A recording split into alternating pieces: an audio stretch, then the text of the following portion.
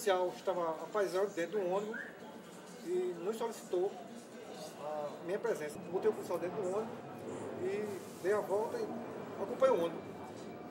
E o policial me informou que tinha dentro do ônibus três pessoas, três indivíduos que estavam em atitude suspeita.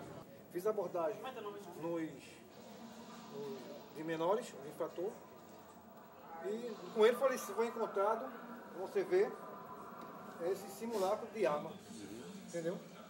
Mas ele não chegou a usar isso para assaltar Ele simplesmente foi na abordagem, foi encontrado com ele.